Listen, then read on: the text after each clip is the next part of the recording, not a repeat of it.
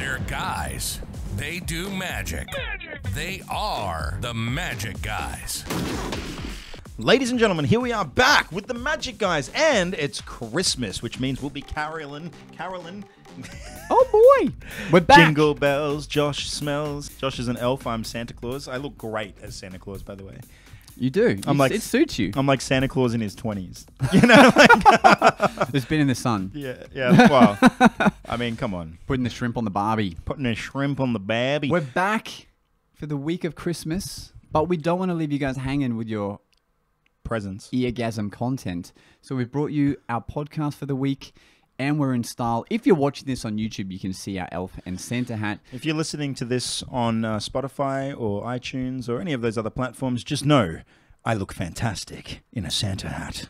Because every Santa has a watermelon shirt. Yeah, they do. Yeah, baby. You know, you No, gonna No, they do. You want to come at me, bro? Definitely not.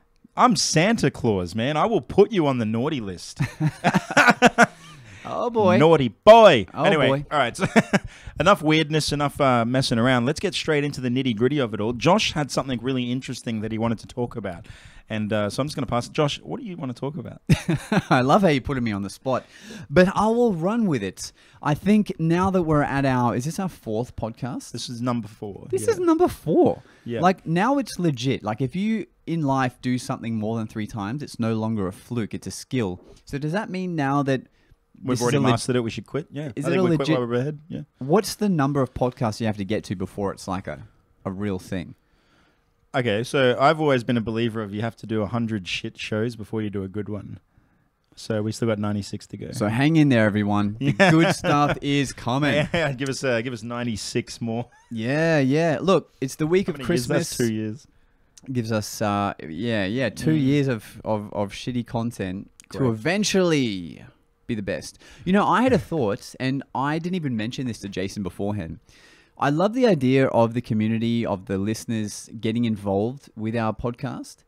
And something i have seen done before and i thought we could do this in our own way is for people to actually email us voice recordings that we can insert into the podcast so Jason is going to ignore me while I go on and talk No, about Oh, I'm this. just getting questions ready. But here's what I thought. Here's what I here's what I thought would be cool. You tell me what you think. I'm li- okay. I I'm think ready. what would be cool is if people emailed us their voice recording for us to play in the podcast, and it can be a question or it can be telling us what you're up to. Um, for example, if we had done this for Christmas, you could tell us what you're doing for Christmas. You know, so I think it'd be really cool. That way, we can interact in real time, answer your questions, and that way, I think we can be a bit more organic with um, you know what we're talking about, and you guys can get involved. I mean, it would be as simple as we've set up an email address for the podcast. By the way, I'll put the link below if you're watching visually, but I'll just say it. It's the Magic Guys Show at gmail.com. Email us, upload a voice recording, and we might use it in uh, future videos. But you know, what do you think? Oh my! okay, Jackie, you says it to go. No, so I like it. Well, I think that'd before be we fun. get stuck into all that, because obviously we don't have any voice recordings yet. They are to come. Hmm. So, Josh, what was that other thing you wanted to talk about? Oh, dude, I just started riffing, hoping that you would forget about that. No, no, no. I don't. I don't stuff, forget you know? things. No, no. I don't forget things. Ooh. All right, let's talk about this. What is your favorite magic effect to perform? And what is your favorite magic effect to watch that you don't perform for whatever reason? Okay, my favorite magic effect to perform is the cups and balls. For those of you that don't know, this is the oldest recorded trick in history, aside from pulling a head off a goose. True story. Great. Yeah. So, so I love that trick. It's just great. The reason why I love it is because it has so many elements to it. You can do, you can literally incorporate things like mentalism into it. It has great sleight of hand, visual stuff. It has, uh, you know, disappearance, vanishes, appearance. It has uh, productions. It has all kinds of things. Literally everything involving magic. It's it's a part of the cups and balls. That's Can why I I, love ask, it. how do you add mentalism into cups and balls? I'm just genuinely curious. Well, you can literally like predict the cup that they'll pick, for example. How? Well, what do you want me to do? Teach you on the channel? Yeah, like how do you do that? Do you say I knew you're going to pick two before you said it? Boom. Like how do you? You can put- You know what I mean? You can produce predictions from the cups. You can have the cups. So on the inside of the cup, you can have a prediction. There's a multiple outs routine you can do with cups. Does anyone else smell bullshit? No.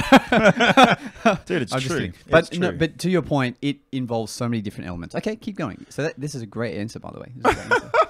So Thanks, bro. I appreciate that. And what's your favorite effect that you love watching that you don't perform, whether because you haven't learnt it or you don't know how to do it or it's just not your style, whatever? Like, what is the thing you love watching? the silhouette flag rose by uh, Teller. Oh yeah, that one there. the That- rose, that- that's probably my favorite one. the shadow rose or whatever, whatever it's, called. I think it's called the silhou- the rose silhouette or something. I can't remember. Brilliant. But he basically oh yeah, he basically cuts the shadow and the roses the rose petals fall and so it's really it's really great. And uh, it's it's probably the most magical visual magical thing I've ever seen. That's beautiful. Yeah. But obviously, I don't perform it because one, I have no fucking idea how it's done, and two, uh, because I have no idea how it's done. That's a great answer. Yeah. Yeah, it's beautiful to watch, and even good trick. yeah, yeah, like even if you were to come up with a method yourself to do it, it you don't care. Like you just Enough putting me in the spotlight there, Josh. What is your favorite trick Well- to perform and to watch? Well, Santa, should I sit on your knee like Santa would? No, No, it's no, too only hot. good It's kids way sit too hot here knee. in summer. That's That's, the thing in Australia is we have Christmas in summer, and that is so weird for some people in the US and Canada and stuff where it's snowing. man, it's hot. It is hot. I'm talking uncomfortable. hot. Like you know when you you know when people get nervous and they get flop sweat. I'm not even nervous. Yeah, And- and and we can smell each other right now. Uh, That's no, what we can. No, that's all you. Oh, I can just smell you then. Oh, that's great. Merry Christmas. You son of a. Merry Jason. Anyway, so, so stop beating around the bush here, Josh. The proverbial bush. I need Right. you to climb out of that bush and give us a solid answer. Does anyone else think that he's been a little bit pushy today? it's because of how stressed he is. He's going to have to deliver all these presents soon to many good boys and girls. Do you know how hard it is to fly a sleigh? First of all, just think of the logistics alone. I have eight deers on the front of a sleigh, and I have to fly from country to country and give presents to boys and girls. And eat cookies and drink milk at every house. How the hell am I going to fly with a sleigh and six reindeer? Really strong thread. No, I don't know. Anyway, so, get- answer your question. come on. All right, cool. So, my favorite effect to perform, if I was pressed and told to pick one, I think it's the thing that I do to open almost every stage show because of the feeling I felt when I first saw it, and that is to produce a large glass bo- wattle, wattle glass wine. Bottle, wow. bottle of wine. Yeah. Wow, that's ya. how enthusiastic I am about So you can effect. you can also tell that he doesn't practice much. So, but that's fine. You know, it's corporate guys for you, I guess. Yeah. Carry on. My favorite effect to perform is to produce a bottle of wine out of nowhere, seemingly right in front of your eyes. And the reason is because when I first saw it, it was a real astonishment moment for me. It's a very quick thing, but it for me, it's awesome. So any chance I get, I will do that. There's great effects I love doing roving magic, but that for me is just I love to And you pass know that what? feeling on to people. It's a great trick too. And I remember learning that one as well. I think we learned it about the same time actually. Probably. But I also remember the guy that came up with it coming in and doing a lecture in Brisbane. Hell And yeah. he fooled the pants off all of us. Totally. Because because we all knew the trick because we studied it, right? Mm. But he didn't just produce one. He produced two bottles and then both of his shoes. Yeah, this guy was amazing. He's amazing, amazing. So that's my favorite effect to, to perform because I love passing that feeling on to people. The effect that I love to watch, um, the answer you gave is great. Uh, So the cups and balls. when Yeah, I was agree. younger, I like watching that too. ah man, the cups and balls. I mean, that's a topic of its own, isn't it? But the effect I love watching. So a few years ago, probably like six years ago now, I was fortunate to um, just like work um, in the uh, in the merchandise section of the Illusionist touring show. So illusionists from all around the world, like the top performers from each country, came together, did a show. And because I was like helping out selling the show bags, I got to watch the show for 10 days straight, like two shows a night for 10 days. And the routines that stood out to me the most that I would look forward to seeing every time was number one, Yuho Jin, FISM ah. winner, card manipulator. Yeah, that guy was good. He has like the most, you know, Shin Lim is another version, another great example, but he has like the most beautiful card manipulation act to like a really symphony, symphonic tune. And then the other act that I really love watching was a guy named Aaron Crow. and he did an act with a bow and arrow shooting into an apple that had Ah, yeah. a uh, wedding ring on it that shot out of the apple that they're holding on. There's so much happening, but even though it's like a really uh, skill based uh, technical demonstration, it ends with the guy on one knee like putting the ring back onto this lady's finger, and it's such a romantic moment that like I just love watching that and seeing the audience like being like, oh, you know, like, nothing nothing gets a crowd more excited than a guy firing a bow blindfolded straight at an apple that's being held by a woman. while spinning around too. Like, He's spinning around. He has it on the, he has the laser pointer on too, so you get Yeah. this cool aesthetic of the laser going around the room, and then it's it's, just, amazing. Aaron Crow, you can find that act. He did it on Britain's Got Talent and America's Got Talent. But I, am telling you, when you see it live, it's just the electricity in the room is awesome. So those two routines stand out because I got to keep watching them. They're awesome. That's great, man. Those are really good answers. Now let me tell you why you're wrong. no, I'm just kidding. No, Because the cups and balls are No, mentalist that- routines. That's great. Well, you know what? Let's let's let's go into something else here. In all of magic, there are a few different categories. You got like Mm. your visual magic, your storytelling, all that sort of stuff, and then you got like mentalism, whatever. So you got I love peop- how you just throw it off. well, you've got people with skill, and then you've got mentalists. So, oh boy. I'm just kidding. I think mentalism is amazing, but I do find that a lot of them can't do many good card tricks. Because they're not meant to. Yeah, but still, anyway. Besides that, what do you think is the most impactful magic trick? Now, even though I was dogging on mentalism, I actually think mentalism is the most impactful magic that you can do. You know what I mean? Here's what I think my brother, My my, brother. brother, from a, another Santa mother, Brother. I think if you are performing to people who don't speak your language, it's a beautiful thing that it can transcend and break that language barrier, right? Which would be like visual magic. So visual magic is so good because you can literally perform, or a silent act, I should say, can perform anywhere in the world. That that's so good. But I think you're right, especially for adults, which is what I spend a lot of my almost all my time performing to. Mentalism has that really crazy effect because first of all, it's really pers- like if you're reading someone's mind, Yeah. that's so personal to them as opposed to a card trick. And I think that people remember that and it's um feels like real magic. yeah, yeah. So I, I think agree. you're right, you know. I I think, think mentalism is the most. I'm glad we agree on something here. put it there, bro. Boom. So now, what's your favorite mentalism effect to perform? Oh, hey, here we go, straight into it. Ooh, boy. Oh boy. Mine is actually uh, reading a thought of name. so someone thinks of someone they know or care yeah, about. yeah, and you- That's so strong. You can divine that from them. That's and truthfully, and- and as powerful as that trick is, I think it's actually like the only one that I know of that caliber. That's yeah. I can do like some things, like I can touch someone through a phone. That sounds freaking really wrong. You But- can make someone feel something even though you're nowhere near them. That's what you're sounds saying. well wrong. Yeah, we but learn yeah, how to touch but- people from a distance. So yeah, so I can like have the phone pointed at someone. And I could touch like their shoulder, for example, on the phone, and the person who's ten meters away could feel that. Mhm, mhm. And that, that that sort of stuff is like super powerful as well. But this and the funny thing is too is I am not a mentalist, but I can still do these ones and those ones. They get some real powerful reactions. Yeah. Like- well, I think with mentalism, if we're talking about mind reading specifically, the thing you have to be to be a good mentalist is you have to be creative in how you reveal the information or what information Yeah. you're getting. So that's probably the most direct, strongest way. And then what mentalists would do if they're doing a whole show is they would find really creative and visual textured ways to continue doing that, but in different different. Um, so it seems like different effects rather. So I think being able to read someone's mind and tell them what the person is they're thinking of is so strong. It doesn't get any stronger than that. But I think the one thing that could maybe rival it is being able to divine someone's PIN code, you know, on their phone. That's some information that is like the most secretive and important thing. And if you can unlock someone's phone, you have access to everything in their life. So I've noticed, especially with the school formal events I was doing in the last few months, I could do the best magic I could do, but then if I do some mentalism and unlock their phone, they freak out. Completely freak out. So mentalism, although he mocked it, we love it. I actually do love mentalism. Yeah, I do like it. Please don't kill us, Derren Brown. Oh no, Derren Brown is the pinnacle. Like he's the he is in fact the benchmark, Mm. right? Mm-hmm, Yeah, but there's like uh There's a lot of people that learn basic mentalism. They kind of trivialize it, I guess you could say. If that makes sense. Okay, Does that make sense? continue. Keep going.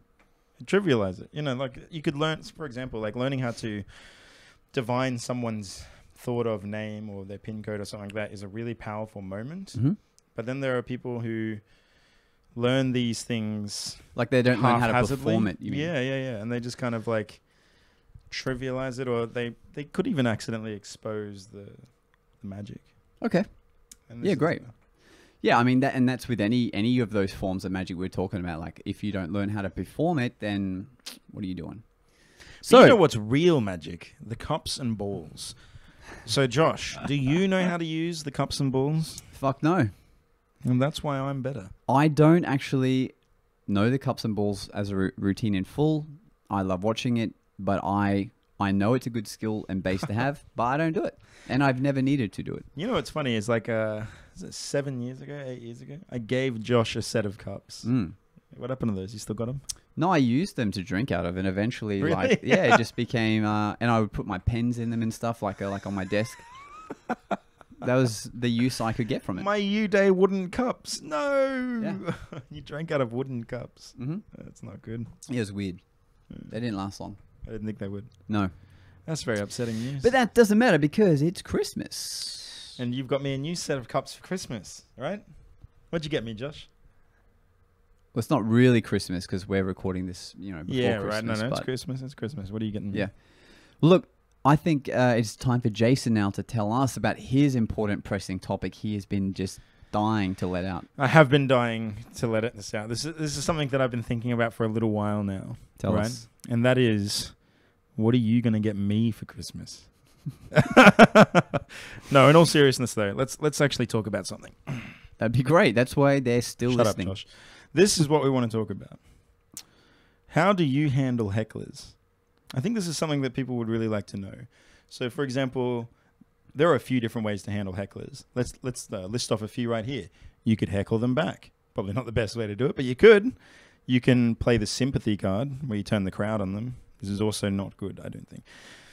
There was this saying actually where if you uh, attack a member of your audience, let's say he's being a dick, I don't know what, but if you Mm. then attack him, your entire audience can feel attacked by that because they're, you know, it's a collective performance. Right? True. Yep. And so, so what do you think the best way to handle a heckle is? Are we talking show or are we talking roving? Roving's easy. Roving's easy. You just, you know, because you're working for a small group of people. If, if he's dick, enough of a dick, you can go to the next group. Right? Mm-hmm. Mm-hmm. But on, I'm talking a show. You're on stage. You've got uh, seven thousand people. No, you've, you've got you know you've three or four hundred people watching you. Whatever. Okay. You're on stage and you're and you're on the spot. Someone's like, you know, you're doing a trick. You just you just produce the bottle of wine, and someone shouts out, "When's the magic start?" Yep.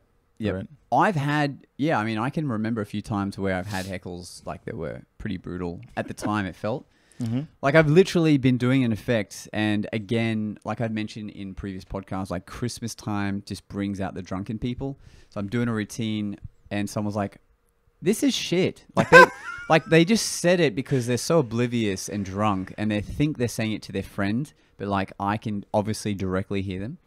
And I learned a lesson then because I was trying to do this effect that was quite procedural, and they probably did think it was shit because the magic moment hadn't happened. And then once it did happen, everyone was impressed, and, and they didn't say that anymore.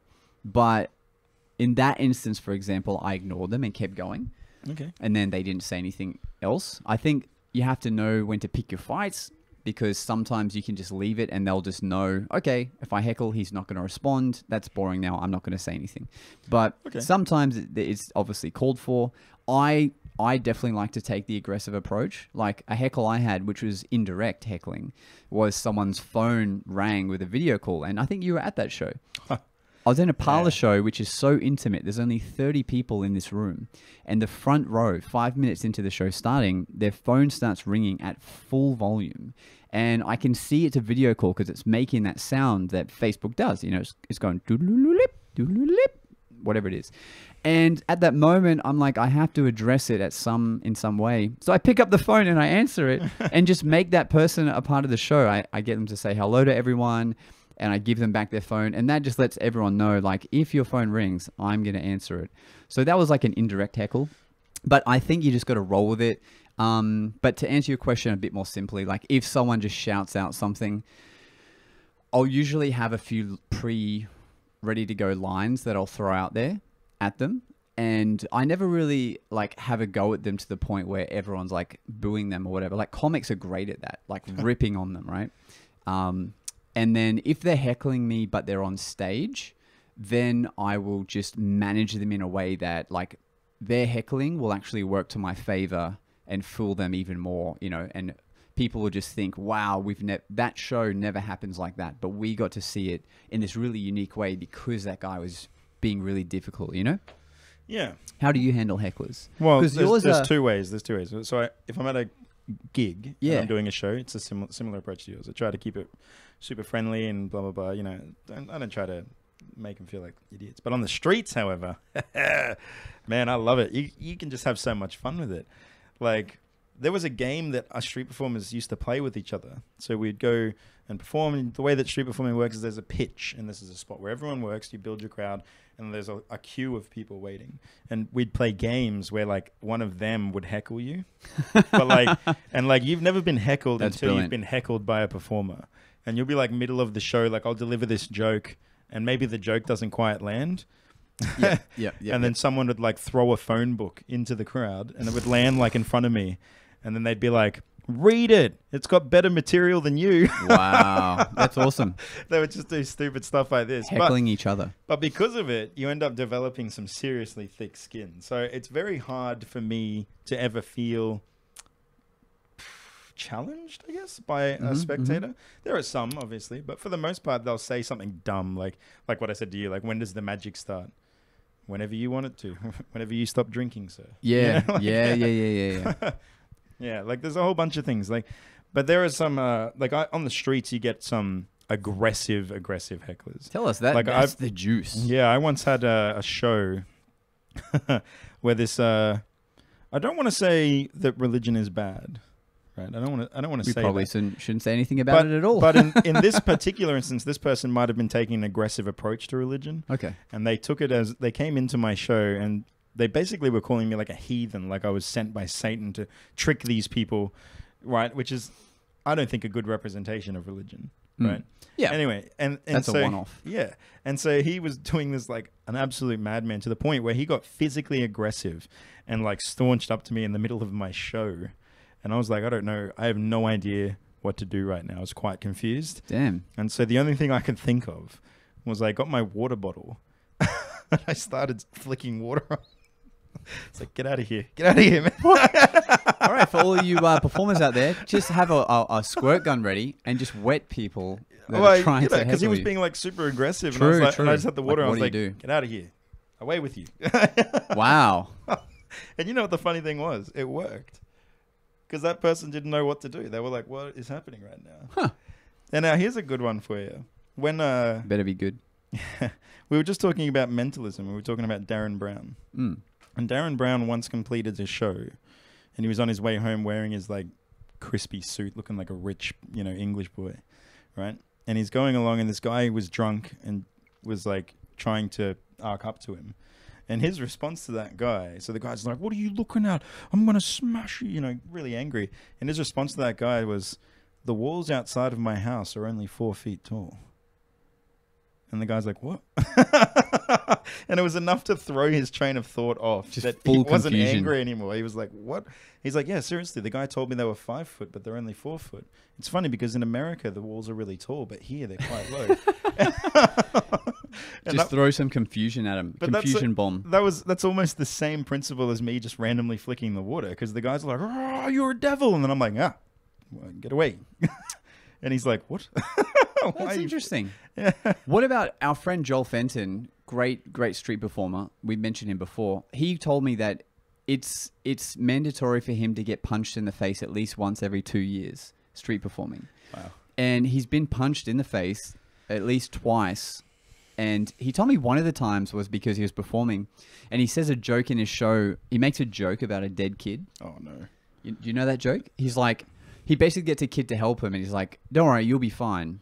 Just do Yeah. it like the last person did, and they say, you know, that person is they, they didn't fall over. You can stand here on the bloodstains of yesterday's volunteer. Yeah, he make, he makes a joke about apparently, you know, he makes a bad joke about a kid helping him in the last show. Now that kid's dead, and then, uh, yeah, a drunk guy came up to him and said, "You can't say that about a kid." Boom, clocked him right in the face, and it was like late at night when he was busking in in South Bank, and then he's also had like a drug addict come up and steal like his um his blade that he juggles with, and then run off and like that's some crazy shit that that uh you know gives you such a thick skin i imagine Yeah, I mean, you get those sorts of things as well. busking I've had fisticuffs, definitely, in the middle of a show. That, Yeah. was, that was funny. I don't even know exactly what happened. So, one of the ones that I do recall vividly was I was doing street performing and I was making some money, and this homeless guy just came out of nowhere and said, What are you doing here? You're not even homeless? That was his approach. Like, it, like I don't belong there because I'm not homeless. And I was like, yeah, I'm just doing some shows, you know, just you know, entertaining some people. And he goes, yeah, but you're taking all the money. So now I ca- that's what his that's his thought was that I was like out there street performing and stealing all the money, and that's why he's homeless. All it's your fault Yeah, it's my fault. Anyway, He's homeless. I just ignored him. I ignored him, and I start doing this show, and then he comes back with like two other homeless guys, like a little gang of homeless oh people, no right? wow It was so weird too because then they've got that shitty dollar slushy. I don't know what it is with homeless people and like slushies, but they all have them in, in Brisbane at least. okay Anyway, cheap he and they cool you throws down. this slushy at me like full, like it explodes all over me. And you know what? I didn't even give him the time of day. I let it explode all over me, and I just kept moving on with the show. I just completely ignored him, and I finished the show, made the money, and quickly put it away. and then these three homeless guys approach me, and it just breaks out into a fight right there on the street. like they fought each other no, they fight me. Oh, they fought you? Yeah, they fought me. oh damn Yeah, yeah. who would like to see jason Granted they- Maher busking with some fisticuffs at the end of the show that's a show that people want to see But the public came to my aid because they had just watched me do a show and they know that Mm. I'm not a bad fella. So they jumped in and helped. but, it was just so crazy So- that this happened because he thought I was somehow the money. reason he's homeless is because I'm doing magic on the streets. So, to encourage people to start street busking, don't worry. The worst thing that could happen is your audience will fight you. Dude, don't even worry about it. Just get out there and do it. It's a safe, uh, safe thing to do. Holy crap! I can tell you that this this sort of stuff is so few and far between that it's like, it's, it's not even really like I can't even really remember them that much. That's you know. because you got king punched that one time. That's That- why you don't was- remember. That was a good one. Yeah, that was a good. I one. don't think you've told that story in a p- podcast episode that we've actually kept. Do you want me to tell it on Christmas? No, let's not. let's let's save that. It's a it's a Well, joyous it, time. you know, something interesting for next time. you know what goes through most magicians' mind at Christmas Tell me. is what the hell am I going to do for work in January? No, no, no. Sorry. Let, you know what goes through most corporate magicians' minds? Yeah. What the hell am I going to do for work? in That's what I'm talking about. The But you know what happens with uh, street performers? January is a golden time. It's really good for us. School holidays, everyone's happy. They've just had presents given to them. They're feeling good. It's great. Good time. Must but- be nice. February. February. February, is the worst time for kids go back to school. It's just when everyone goes out. back to work and school, and they're a little bit cranky because they have to do it. Yeah, Yeah, yeah. and that's that's when the street magicians are like, oh, oh, I hate February. For the longest time growing up during November and December, as a magician doing gigs, you make so much more money in those months compared to the other months. You're like on top of the world. You're like, this is great. I really am glad with my career choices. Riding that high. I feel like I've made the right choice. And then it gets to January and you're like, oh my God, I have no work. And you quickly burn through the money you'd made because you're an idiot and you didn't save any of it, knowing that you would stop getting work. And then it always takes until like March to really kick into gear. And every time I would hear people posting on socials and I would feel the same way in my younger years. And you're like, what am I doing with my life? You know, I should quit. and then all of a sudden it kicks back into gear. And anyway, it's like this cycle that this deja vu that would happen. Um, no, that happens. That happens with us too. okay, good. It's, it's I'm glad it's January- everyone. It's the February zone. The Yeah. February time. That's the life of you know performing where it nothing is guaranteed. Um, I mean, you have to love the lifestyle though. To be to be able to be successful, you have to love the lifestyle. Hundred percent. And one of the things that comes with it is just this fact that some of it is seasonal. So I have learned now that when I am doing this surplus of, of events, November and December, is I actually save I save such a good portion of it so that I can just disperse it to myself in January and February as if I'm like paying myself so I don't feel that that um that uh, hole. But also I think and everyone should be thinking of it now if you're a performer like what are you going to do with your time in January and February when normal work isn't happening. Now, Zoom shows are a new thing in the world, so that could be a thing, is starting to do Zoom shows perhaps. Um, I like the idea of doing my own public shows because now I've got more time Yeah. to put on events rather than getting booked to go to events. And the other and the other option, which I've done as well, is to run workshops. So in January, school holidays are still running. So in the past, I have ran card workshops teaching just introductory kind of magic. And um, putting on these kind of things is something you have to think about already. I mean, you're watching this now; it's a week till Christmas. You're screwed already. But, but I mean, you know, for the the following year, that's something that as performers, you know, you always have to be thinking ahead. Like if you want to do a show in six months' time, you actually have to start putting it into action three months beforehand. You know. You know, the other crazy thing about being a performer is what's your retirement plan look like? Ooh, we don't talk about that. Yeah, because it's like, I mean, you can pay to your own Let's- super and stuff like that. yeah, yeah. But yeah. it's Let's so talk about it. it's so crazy to think about like with anyone else like you finish your job and they've paid your super for you and stuff like that with us we reinvest so much into our work Mm, that i put stuff in my super but i don't put much i don't put Yeah. as much as i probably should totally. Performing artists don't think like that. Yeah. Actually, right? We just think we want to perform. I mean, the other thing is as well though is like how do you want like so me like we're doing this podcast now right Mm. i'm doing the youtube stuff i'm on the tiktok thing doing all of that sort of stuff because in my mind there's something to gain from being more than just doing your gigs right yeah, there's a future that's building up from doing this now. Exactly, yeah. And there's every possibility that, like, maybe, I mean, like, uh, it's you know, completely up in the air. We don't know, but there's every possibility that maybe I don't, I never have to do a gig again because maybe I've produced enough content or done something so well that it just generates its own. Yeah, its own passive income. Yeah, exactly. And that would be uh, amazing. Yeah, like that's yeah, that's the kind of retirement plan that we think about. Is how do we build something up to where we can fully fund ourselves when we when we retire? Not that magicians ever retire. Like no one keep going. Like I remember uh, watching a great podcast interviewing David Copperfield, and they asked him, you know, they actually asked him, and I, it's the first time I've seen someone publicly ask him, like, what, when will you retire, or how much longer will you keep doing your show? And he was actually quite taken back from that. He was like, not annoyed, but he looked at him and said, you know, why do people retire from a job? And they, and the answer is like they retire because they don't like that job. Yeah. So he's like, why would ever, why would I ever want to stop doing my dream job? You know. so his Good plan, answer. yeah, his plan is to never stop. And why, you know, why would you? So Have that Tommy Cooper finish. yeah, to die on stage can't get any better. There's if another, we're there's honest. another one. Uh, you know, Red Skelton. No. You know Tom Mullica. Yes. So t- there's there's also one where Tom Mullica like um, passed out on stage. Have you seen that? Heard no, I haven't seen it. I haven't seen it. Uh, so he was doing this. Uh, he was doing a show where he was playing the part of the, his idol back in the day. So his idol was this guy called Red Skellington. Um, he was a Oh yeah, I have. comedian, He- I've heard of him talking about it. And Yeah. in order to do it, he had to have his ears like taped back because he really wanted. It was yeah, like yeah, a yeah. tribute show. He had to have his ears taped back, but Is he? Uh, is Red Skelton a, like a clown? yeah, That's right. yeah, yeah.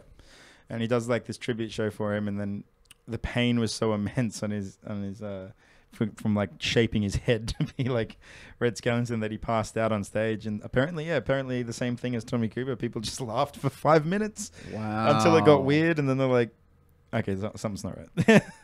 That's great. Like this podcast is so much fun for us to do. I can't see why we wouldn't still be doing this when we're old. Like old, you know, whatever Dude, that imagine, old Imagine this, right? We start at the ages of how old are you again? Thirty-one. Damn, you're getting Maybe. old, boy. Yeah. We start at the ages of 29 and 31, and then sure enough, there we are at 69 and 71 Yeah. doing. Or the, uh, even eighty. Like maybe you have other priorities when you're eighty, like being able to still tie your shoes up. but I can't see why we would stop doing this. You know, like this is so easy on the body to to do. As long as you still have things to say. Yeah. Um, I don't know why we would retire from this, but it's definitely an important thing that because certainly there are cases, so many cases of magicians, not performers in general, you know, getting old, and then eventually it gets to a point where they can't.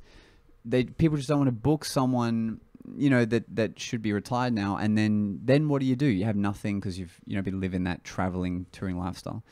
You so just do the Gazzo thing and become the best street performer in the world. Keep doing that. hundred percent, hundred percent. Why not? Yeah, but you know, if you're Santa, Santa lives forever. He always has a job. Dude, yeah. Dude, Santa might be the best magician in the world.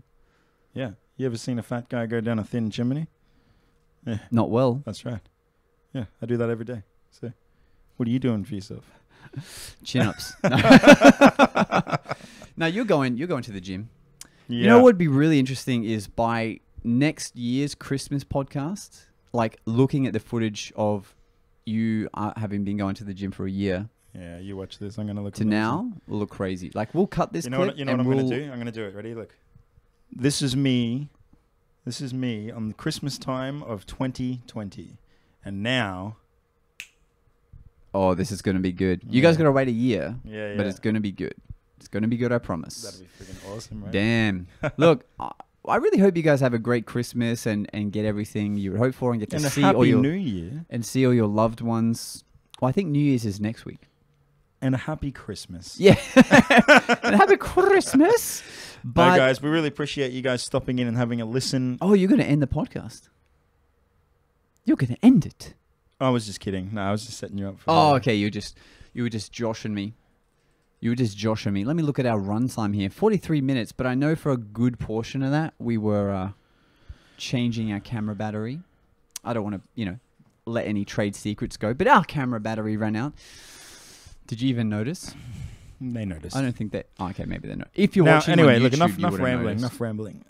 There's something else that we need to discuss, and that is: should Josh become a part of the Naked Magicians? Yo, guys, thanks so much for watching this. We hope you have a great Christmas, a great Christmas. And remember, send us your questions or what you're up to. Tell us something about yourself. Keep it to a, at a minute maximum.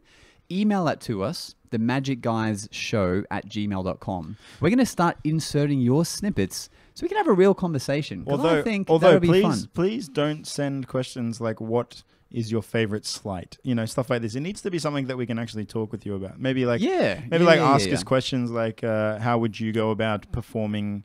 Uh, to strangers or something like this, you know, like just something that we can actually help you with. Because I, I don't really want to sit here and be like, well, my favorite sleight is known as a DPS, and 100%. that's it. That's it. That's all we can say. Hundred percent. Or it can even just be you telling us what you're doing today. It could literally be, "Hi, I'm Josh from Brisbane, and today I'm about to listen to your podcast, but I'm driving to pick up my son because he has a pet goat that he's looking after at a farm." And you know, tell us about yourself, where you're from. And where the That's hell did this kid get a goat from? I know that guy is doing well in life. If you have a pet goat, you're fancy. You have a pet horse. I, well, yeah, I do have a horse, You have two? Uh, just one. Just one. No, that's not cool then. Yeah, it's my girlfriend's horse, and she has started up a business, you know, right around this this horse. So it's pretty cool. But I wonder if we could decorate the horse to look like a reindeer, and use that at my gigs. Would that increase my fee? Could I increase my fee with that? If what, if you brought a live horse? Yeah, look like looking like a reindeer. Like if I arrived to the gig, at- might- you know, riding the horse. Yeah, If you rode in on to, like yeah. like as in like ladies and gentlemen, introducing Josh Norbido.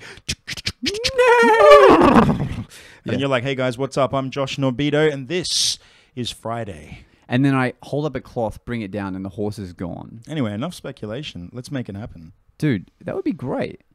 It's not going to happen. No, it's probably not going to happen. Anyway, but guys, I hope you enjoyed this. This is Eric Leclerc reminding you. Eric Leclerc gets so many shout outs on our podcast. Yeah, I like Eric Leclerc. He's a good Have a man. great Christmas. We're going to see you next week for the New Year week special. And until then, stay magical. Stay frosty. Bye. Thanks for listening. It's time for us to disappear now. Disappear now. But we'll see you again on the next episode of The Magic Guys.